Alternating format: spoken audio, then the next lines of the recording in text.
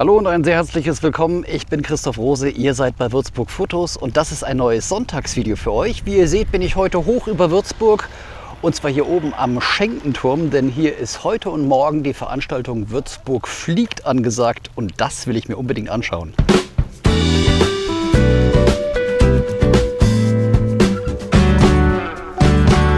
Der FSCW, das ist der Flugsportclub Würzburg, der veranstaltet alle zwei Jahre die Veranstaltung Würzburg fliegt. Das ist heute und am morgigen Sonntag, zwei Tage lang, ein Wochenende geht sie immer rund am Flugplatz hier am Schenkenfeld. Ihr könnt schon sehen, die ganze Reihe hier vor steht voll mit ganz besonderen Flugzeugen, die alle natürlich abheben und äh, nicht nur zu Rundflügen, sondern auch zu Kunstflügen und die Sachen hier alle in luftiger Höhe über Würzburg präsentieren. Wer an diesem Wochenende in Würzburg ist, hört öfter mal äh, Flugzeuggeräusche am Himmel, denn das sind alles die Flugzeuge, die hier unterwegs sind. Übrigens gibt es diesen Flugsportclub in Würzburg bereits seit 1948, damals allerdings noch nicht mit richtigen Flugzeugen, sondern gestartet sind die nach dem Krieg mit Modellflugzeugen, denn damals war von den Alliierten das Fliegen noch verboten für Privatpersonen. Das ist erst Jahre später dann freigegeben worden. Dann sind sie auch mit richtigen Flugzeugen geflogen. Und der ganze Flugplatz hier oben am Schenkenfeld, der ist ursprünglich mal von der US Army als Ausweichflugplatz für den gebaut worden, der in den Leighton Barracks war. Da war ja immer eine Landebahn gewesen. Heute ist es ein grünes Band, früher ein Flugplatz. Tja, und dann irgendwann ist dieser Flugplatz, ich glaube, in den 60ern von der Stadt Würzburg gekauft worden. Und seit der Jahrtausendwende gehört er jetzt dem Flugsportclub. Und die haben hier oben in ihrem Hangar auch eigene Maschinen. Da werde ich später noch hinkommen, mir das mal angucken.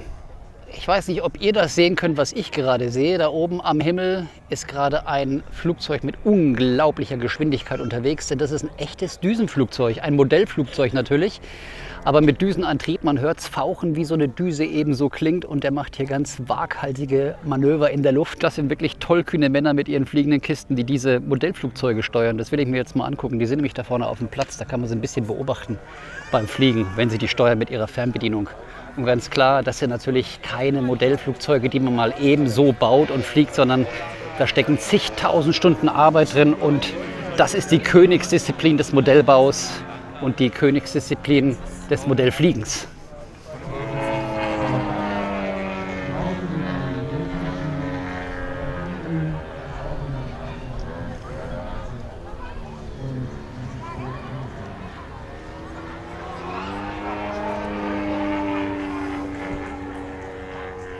So, und da kann man jetzt mal die Maschine noch mal sehen, die gerade eben geflogen ist, wie groß sie wirklich ist. Hier vorne auf der Fläche, da stehen die Piloten und steuern von dort die Flugzeuge und können sie auch ganz locker anheben und an ihre Parkposition zurückbringen. Und übrigens hier auf der linken Seite, da ist der Tower, da geht es gleich mal rein. Und äh, jetzt gehe ich erstmal in den Hangar hier, denn da stehen die ganzen Modellflugzeuge und auch einige vom Flugsportclub. So, nicht zu viel versprochen. Hier im Hangar sind heute Morgen die Modellflieger untergebracht. Normalerweise haben die nämlich einen eigenen Flugplatz. Also der Flugsportclub Würzburg hat sozusagen auch eine Modellflugabteilung und die heben normalerweise in Üngershausen, das ist bei Reichenberg ab. Da haben die einen eigenen kleinen Flugplatz für eben diese Modellflugzeuge. Die kleine hier hat so eine riesengroße Fernbedienung, kann man auch mal sehen bei der Gelegenheit. Ansonsten habe ich gesehen, ist auch noch ein ferngesteuertes Segelflugzeug da, das weiße hier und auch das kleine gelbe. Und das hier im Hintergrund ist ein sogenannter Gyrokopter, so eine Abwandlung des Helikopters, funktioniert technisch ein bisschen anders, aber damit kann man auch äh, durch die Lüfte gehen. Hier eine weitere kleine Maschine und eine Cessna, die kennt man ja so, mit der ist Matthias Rust mal auf dem Roten Platz in Moskau gelandet in den 80er Jahren. Manche werden sich erinnern, also das sind Maschinen, die hier vom Flugsportclub Würzburg sind.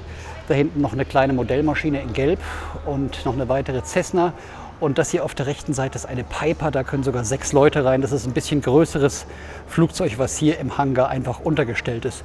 Das sind eben die Flugzeuge, die dem Flugsportclub Würzburg gehören und die die Mitglieder dann eben für Ausflüge im wahrsten Sinne des Wortes nutzen können. Bei den Modellfliegern, die heute unterwegs waren, war auch dieser schöne alte Doppeldecker zu sehen, der geflogen wurde vom Herrn Munker. Und der Herr Munker hat den nicht nur geflogen, sondern Sie haben den komplett gebaut, diesen ja, Flieger. Ja. Ist das ein Eigenbau oder ein Modell? Nein, das ist ein Bausatz, den man beziehen kann. Also die Pläne und auch viele Teile dazu besteht ungefähr aus 2000 Einzelteilen. Hui. Und da hat man so drei, vier Monate Arbeit als Rentner, also so etwa 400, 500 Stunden. Und dann wird sowas fertig werden. Jetzt haben Sie mir gerade erzählt, Sie waren früher Maschinenschlosser bei der Siemens in Würzburg. Nein, ich war Ausbildungsmeister. Ausbildungsmeister sogar, Ausbildungsmeister genau. war Und mit und Ihren, mit Ihren in- Lehrlingen ja. zusammen haben Sie dann einen Motor gebaut. Da haben wir richtig? mal Sternmotore gebaut, ja. Genau. Was muss man sich darunter vorstellen jetzt für Nichtfachleute? Sternmotor, ist das was Sternmotor das ist Besonderes? also ein Motor, wo, wo im Kreis praktisch die Zylinder angeordnet sind, nicht Mhm. in Reihe oder in V, sondern im Kreis. Die hat man früher gern eingebaut, dass sie besser gekühlt wurden in der Luft. Genau. In den äh, Motoren, äh, Ersten Weltkrieg, Zweiten Weltkrieg hat man sehr viele Sternmotoren geflogen, auch danach. Und die wurden eigentlich abgelöst durch die Düse später. Genau, und hier auf dieser Maschine wäre so ein Sternmotor, da kann man auch mal sehen, wie das aussieht. Und wenn man sich vorstellt, der Motor muss diese Maschine, die rund 20 Kilo wiegt, ja auch wirklich antreiben. Ähm, da muss das ja auch wirklich ein gutes, äh, gutes Teil sein, was sie da gebaut haben. Also der Motor, den ihre Lehrlinge dann gebaut haben, der konnte dann auch wirklich eingesetzt werden Ja, der Maschine. war aber wesentlich kleiner als der ja, noch der, kleiner, noch mehr min- Ja, miniaturisiert. noch Ja, kleiner. Also der hat ja 250 Kubik und hat etwa 14 PS. Und die wir gebaut haben, das haben 70 Kubik gehabt und sieben Zylinder. Also war kleiner als der. Ja. ne? Wie viele Stunden Flugzeit braucht man, bis man so eine Maschine beherrscht? Ich habe sie ja vorhin Also, fliegen sehen. ja, das das, ist schon sind schon, das sind schon ein paar Jahrzehnte. Oh. Aber äh, die Jugend macht das heute, möchte ich sagen, zwei Jahren. Tatsächlich. Ja, die haben so gute Modelle zum Lernen und zum Üben. Da geht es also wesentlich. schneller. Bei uns hat es reich, reichlich lang gedauert. Und auch das gibt es heute zu sehen am Schenkenfeld. Ein riesengroßer Heißluftballon, der gerade aufgeblasen wird. Allerdings nicht, um damit zu fliegen, denn an der Seite hat er ein riesengroßes Loch. Ihr könnt schon sehen, da gehen die Leute alle rein, um sich mal anzuschauen, wie so ein Ballon von innen aussieht. Das werde ich auch machen. Also das ist bloß ein Demo-Ballon. Der hat die Reißprobe nicht bestanden. Das muss nämlich getestet werden, ob der Stoff hält. Und dabei ist er eben zerrissen. Und deswegen kann man da jetzt einfach mal in den Heißluftballon reingucken, wie das von innen ausschaut. Oh, da ist auch gleich schön warm hier drin. Keine schlechte Perspektive. Wow. Ja, schönes Zelt. Könnte man auch äh, drin übernachten. In diesem Heißluftballon hier. Der Wahnsinn.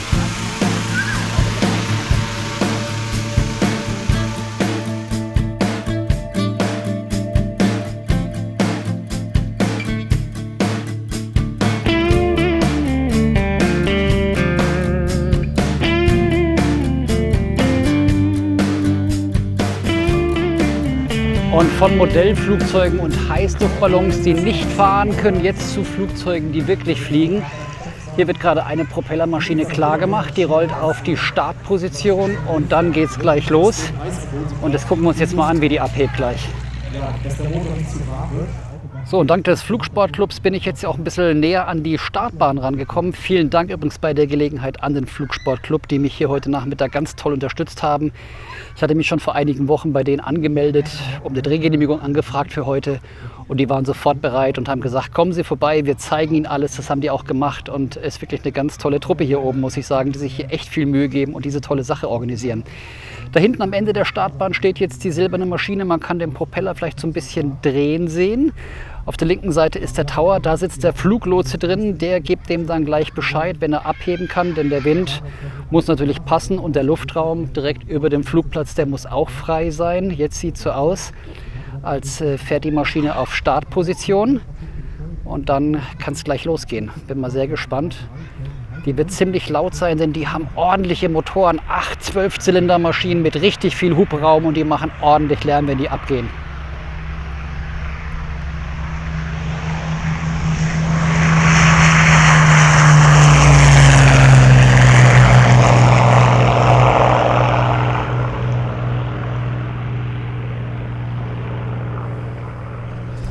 So, und jetzt gehen wir gerade mal auf den Flughafen Tower. Die Feuerwehr ist, wie ihr seht, auch da. Die Freiwillige Feuerwehr Unterdirbach. Die leisten heute hier Wache bei den ganzen äh, Flugangelegenheiten, die hier auf dem Platz sind. Da muss natürlich die Feuerwehr dabei sein, das ist klar. Und jetzt gucken wir mal, wie es da oben aussieht. Und hier sitzt jetzt die Flugleitung, so kann man glaube ich sagen. Und ist vor allem hier ähm, gut klimatisiert hier oben. Ach, herrlich. Bei 30 Grad hier drin ist es runtergekühlt auf 20 oder 25. Das ist natürlich super. Ähm, Herr Hoffmann, wie weit ist denn eigentlich so der, der Einzugbereich hier von dem Flugplatz? Wenn jetzt zum Beispiel Ihr Kollege hier sitzt und nimmt Funksprüche an, wie weit geht das? Die Funksprüche gehen im Prinzip, ähm, das hängt gleich von der Höhe ab. Je höher sie sind, desto weiter gehen die, gibt es eine Formel dafür. Also in der Regel meldet man sich hier an ungefähr 20 Kilometer, bevor man dann da ist. 25 bis 20 Kilometer vorher. Sagt man, ich komme vorbei, dann kriegt man hier eine Information, pass auf, du kannst gerne kommen. Wir haben die Piste in die Richtung oder in die Richtung in Betrieb und der Wind kommt von da und da und dann war es das schon gewesen. Und dann, wenn er dann in der Nähe des Platzes ist, gibt es hier so einen Platz und wir können so mal gucken. Gibt es hier so ein Blättchen, was heute nicht da ist. Kommen wir von, von Norden an, melden uns dann hier irgendwo 20 Kilometer bevor wir da sind. Wir sind in fünf Minuten da. Dann fliegt man hier so rein, dann sagt er einem, pass auf, wir gehen vom Westen, nimmst bitte die 29. Dann reiht man sich in die Flugplatzrunde rein, das ist so festgelegt. Ah, das muss man doch einmal so rumfliegen, ja? Dann reiht man sich hier rein, fliegt hier so rum, meldet sich im Gegenanflug, bereitet sich auf die Landung vor, meldet sich im rechten Queranflug, meldet sich im Endanflug. Ja, und dann beginnt man hier mit dem Sinken und dann landet man hier auf der 2.9. Das wäre dann, dann käme da hinten rein und rollt dann in die Richtung aus. Ähm, sagen Sie, ähm, Herr Hoffmann, was könnte hier denn größtenfalls eigentlich landen auf dem Sport Sportflugplatz in Würzburg am Schenkenturm? Im Prinzip bei Hubschraubern ist zum Beispiel keine Begrenzung nach oben, aber bei Flugzeugen lassen wir eigentlich Flugzeuge zu bis 7,5 Tonnen etwa. Eine 747, dafür wären wir doch ein bisschen kurz. Aber theoretisch wird es gehen. Ich weiß es nicht, ob die Bahn danach noch brauchbar wäre. Und ob der überhaupt die Füße auf die Bahn bekommen würde. Ja.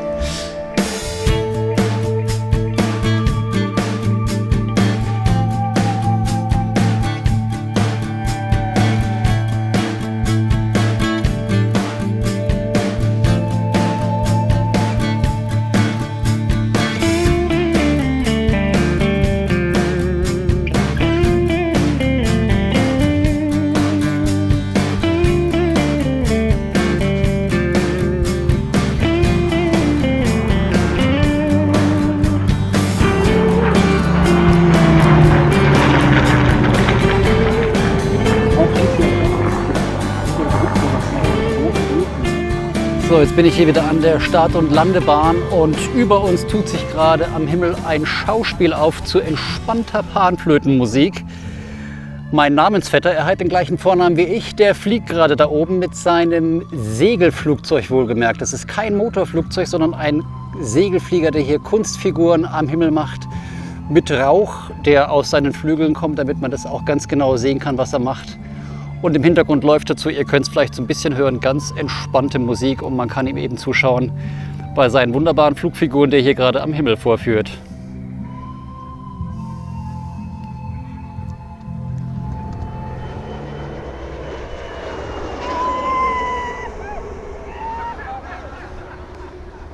Juhu, hat er gerufen im Vorbeifliegen. Das hat ihm, glaube ich, Spaß gemacht. Sichtlich. Der Wahnsinn, was man mit so einem Flugzeug alles machen kann. Nachwuchsprobleme haben die im Verein hier übrigens nicht, wie ich mir gerade sagen lassen. Die Jüngsten, die hier anfangen mit dem Segelfliegen, die sind dann 14 Jahre alt.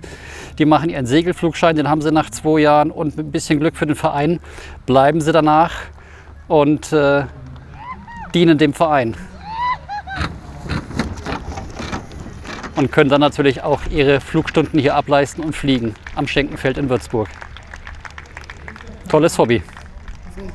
So, das ist jetzt dieser Segelflieger, den wir gerade eben gesehen haben über Würzburg mit Christoph Zahn, der ihn geflogen ist. Herr Zahn, hallo. Hallo. Sie schwitzen noch, das ist ganz schön schweißtreibend da oben, ne? Das ist schweißtreibend, wobei mir es besser geht als äh, den vielen anderen hier, weil wie man sieht, hat äh, der Habicht ein offenes Cockpit, also es ist keine geschlossene Haube, somit äh, brennt die Sonne nicht so ganz rein und man hat den Fahrtwind ähm, Ja. die ganze Zeit um das äh, Gesicht und das ist eigentlich ganz erfrischend an so einem heißen Tag. Deswegen hätte man hätte ruhig länger dauern können heute. Sie haben da oben Loopings gemacht in, in, in, in hohen Lüften. Äh, Was haben Sie da für G-Kräfte? Das ist ja auch ordentlich sicherlich, oder? Ja, wobei das bei so einem älteren Flugzeug, das ist ja Baujahr oder Konstruktionsjahr 1936 Ui. und ähm, das hat sehr gute Flugeigenschaften auch für einen Kunstflug. Man kann die Kunstflugfiguren sehr langsam fliegen und dadurch, dass man sehr langsam fliegt, hat man auch nicht die hohen G-Belastungen, aber man kann trotzdem im Grund alle Flugfiguren fliegen, die auch die modernen ähm, Segelkunstflugzeuge machen können. Und jetzt hatte ich G-Belastungen von vielleicht plus 4 und minus 2. Oh, auch ganz schön ordentlich. Das vierfache Körpergewicht, was man dann Genau, halten muss eine Zeit genau, lang. Muss man genau. spezielle Atemtechnik auch anwenden? Nee, jetzt bei dem Segelkunstflug, den ich heute gemacht habe, nicht. Das Nein, nicht. Nee. Äh, viel Platz haben Sie da drin auch nicht. Wir schauen gerade mal in das Cockpit rein. Ich gehe gerade mal hier äh, ums Bug herum. Ich glaube, vorne ist das Bug, ne? Ja, sagt man, glaube Genau, ich. Ne? da sieht man es sehr, Also schon sehr eng. ist sehr, sehr eng hier drin, mein lieber Schwan. Und da haben Sie auch, so wie das aussieht, hier einen Fallschirm natürlich mit Genau, dabei. wir können die Haube mal abmachen, dann kann man Ach, das da auch man besser aufmachen. sehen. Ich habe schon gedacht, wie kommen Sie denn da rein sonst? Ich dachte, Genau, Sie, Sie quetschen sich da von oben rein. Okay, alles klar. Ganz genau, nee, man macht die Haube ab zum Einsteigen Und dann sieht man eben, man hat hier, äh, denn das Blaue ist der Fallschirm, den man anzieht. Zum Segelkunstflug muss man auch immer einen Fallschirm anhaben. Ja. Und dann ähm, hat man zum Segelkunstflug noch einen 5-Punkt-Gurt. Über die Schulter sind es zwei Gurte jeweils. Dann kommt von rechts und von links jeweils noch ein Gurt und von vorne noch ein Gurt. Und alle enden in einem Schloss in der Mitte. Sie können also nicht rausfallen. Ich kann nicht rausfallen, auch wenn keine Haube drüber ist. Genau. Okay. In Überwürzburg sieht man sowas nicht so häufig. Wo fliegen Sie normalerweise? Bei Aschaffenburg Bei in Aschaffenburg. Obernau, genau. Da ja. ist auch dann Platz und da sind Sie auf Kunstflug spezialisiert, kann man das so sagen? Ja, das mache ich, ich sag mal so, zu meinem Hobby eigentlich. Ne? Also ich ähm, bin Fluglehrer am Flugplatz in Obernau und bin auch Kunstfluglehrer, ja. Und wenn mir danach ist und die Zeit ist, dann, ähm, dann mache ich auch Segelkunstflug, aber hauptsächlich eigentlich auf Flugshows. Danke Ihnen. Nicht zu danken.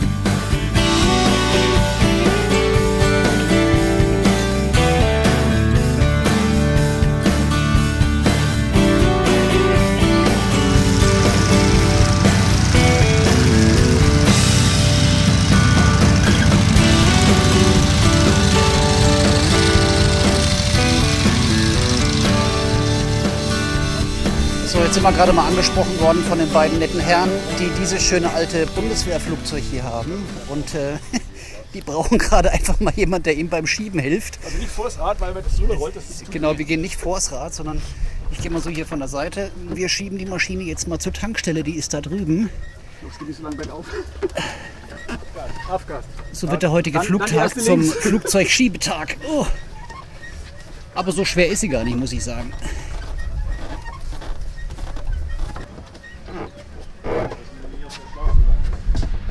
So, damit die nächste Runde starten kann, wird jetzt getankt.